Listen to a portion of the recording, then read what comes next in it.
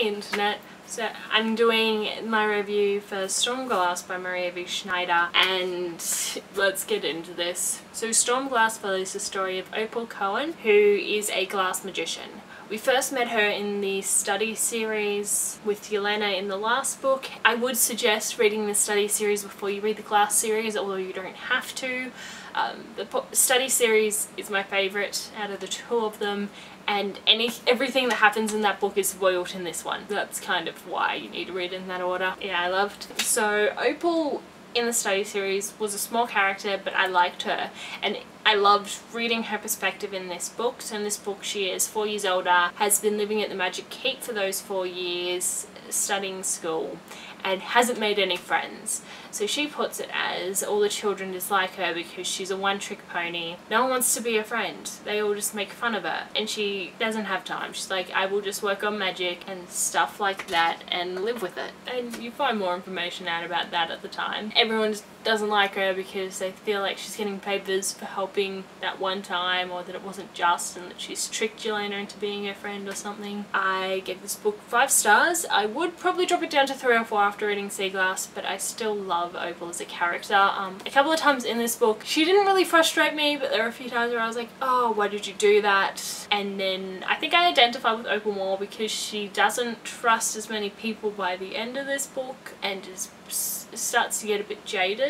Of this book, you follow her as she's discovering more about her glass magic and all of that. Now I'm going to have to get into the spoiler part of you so if you haven't read this book go because I can't talk about it without spoiling it. If you haven't read it I hope you've gone because we're getting into spoilers now. So with this book I don't know how I feel. I love Kade from the minute that we met him and I loved how jaded she got. I'm trying to find his name now. Ulrick. Um, I did not like the romance with Ulrick. I did not like him as a person or a character.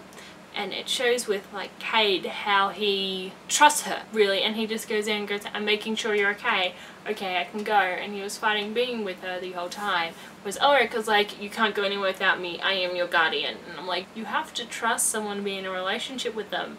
In fact when I first heard that they were having a relationship I was like what's happened Maria? I love your relationships. Why would you do this? Then realized why which was great. And it, I think it added to Yelena's character. My other problem in this book was Devlen. I don't know even in Stormglass I don't know whether to like him or hate him just every time we see him I'm like do I love him or do I hate him? I don't know. Do you know if I love him or hate him? Because I don't know if I love him or hate him. It's just so many things. I love that we see Janco and Ari in this book as well and we do get to see a bit of Yelena. I love how much Leif is in the book. Um, he is a great character and Mara. How you get to see how the older sister turned out and how sweet she really is. I like Mara to start with and now that we get to see more of her. I think her and Leif are perfect for each other. Like I'm just so happy that they're together. When Opal discovers her siphoning skills, I was kind of like, don't tell anyone!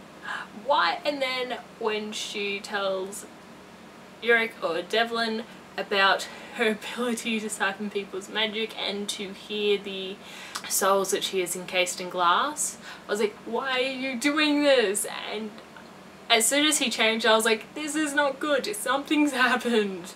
But they were probably the only parts that kind of annoyed me and they didn't really annoy me that much. They entertained me if anything. Yeah Kade is still my favourite he will always be my favourite I can't read the reviews about this book or this book because I get too passionate about them one thing that I've read is like someone was like Maria didn't have to kill all the glass makers off and make it so Opal was the only one who knew anything. And the whole time I was like that's not what she's doing. Yes she's killing them off for a purpose. Um, and it can kind of see I'm justified but it has to add to Opal's character but I don't feel it was done in a way where Opal's the only one who knows it although it does help her come back for other things in the book. I don't know I just I don't feel it was unjust. I love how we really get to see Opal's um, glass blowing side and how much she has been affected by growing up in this and how she can identify phonies in the glass blow like identify all these things and know all this thing from glass magic because of her father.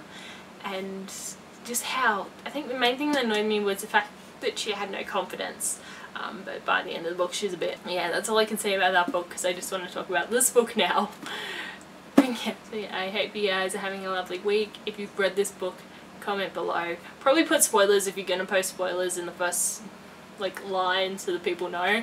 But uh, I think I need to talk about this series. anyway, yeah. Bye!